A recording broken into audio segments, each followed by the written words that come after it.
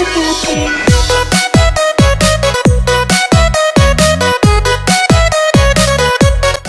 DWP Rutan Tamiang Layang mengucapkan Dirgahayu